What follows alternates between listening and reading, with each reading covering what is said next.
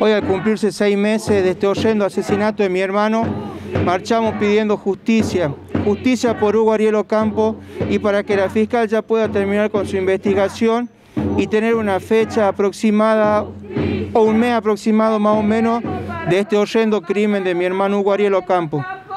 Me consulto cómo está la causa, aún no pudo ser elevada a juicio.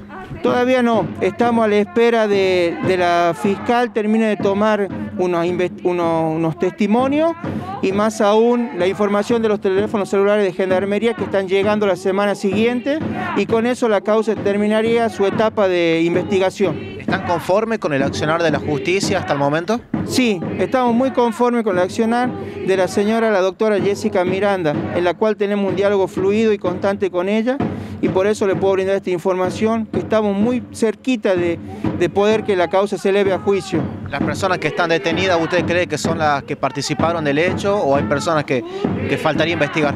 Son las dos personas asesinas de mi hermano, Cintia Bazán y Enzo Morales, son los dos asesinos de Hugo Ariel Ocampo.